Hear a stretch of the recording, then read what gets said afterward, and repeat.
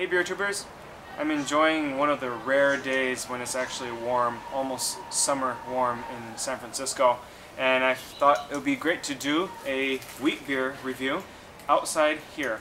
And um, it's great because I'm only wearing, what, two layers? Usually I'm wearing four because I'm a wuss.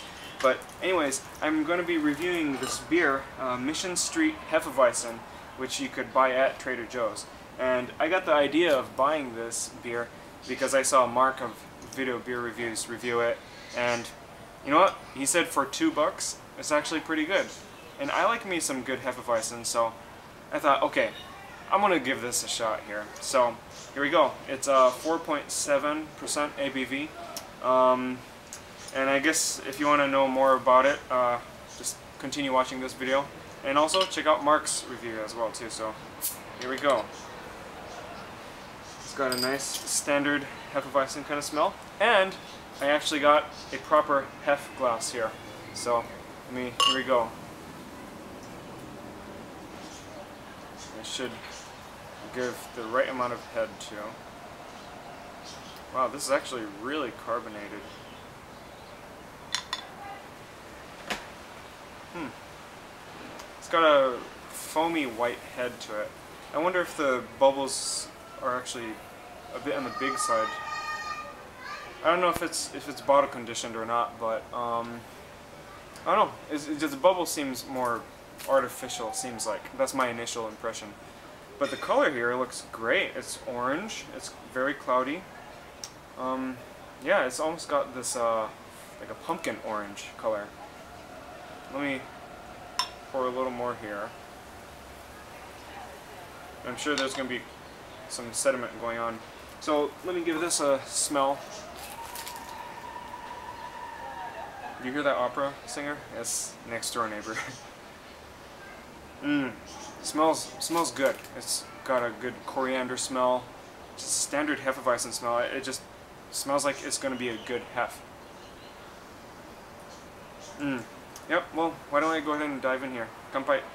Oh, no, it's a Hefeweizen, so Prost.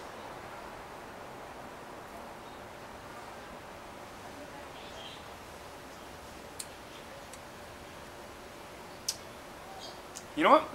Mark was right. It's actually pretty good.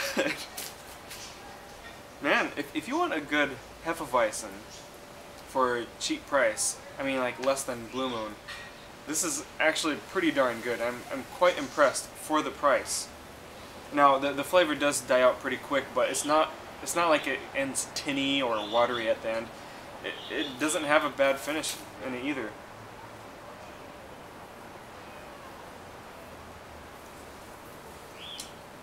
Yeah.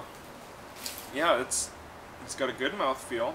The bubbles isn't all fake and stuff, and um, yeah, I don't have a problem with the flavor. Why don't I uh, see if I could pour the rest of it? Get some sediment.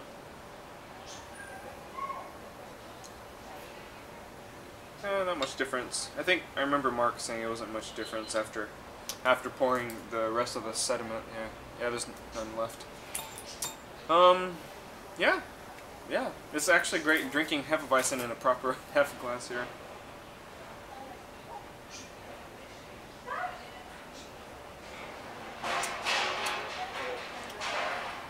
Yep, you know, honestly, this is this is pretty good. It is pretty good. Um, I think I think all the Germans would be like, uh, it's like mediocre or not too good, but and I, I, could see how that is because it's, it is, you know, it's not top of the line, but for two dollars, for this size, a bomber size, and the amount of flavor that you get, and on top of that, it's American made, is actually pretty darn good. I am really surprised. I I was skeptical even after Mark, even though Mark said that it's pretty good. But it is pretty good. Two dollars for 22 ounce. This is a really good deal. Um, of course, there's like Weihen Weihenstephaner and Franziskaner, uh, Paulaner. All those are much better. Of course, they're German made. They have much more uh, variety of, uh, just a broader spectrum of flavors. But this, for the price, American made, cheap, it's, it's really, really good. So yeah, I think that's all I have to say about it. I'm going to enjoy the rest. Uh, this is uh, Mission Street Hefeweizen at Trader Joe's, two dollars. And they also have a brown ale, but I don't like brown ale, so I'm not gonna bother. So, anyways, thanks for watching, and I'll see you guys in another beer blog. Kanpai.